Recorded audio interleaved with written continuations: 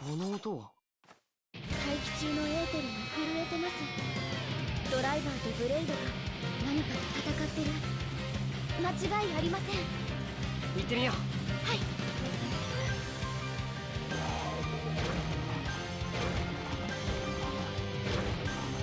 お嬢様ここは私に任せて。あんた一人置いてけるわけないだろ。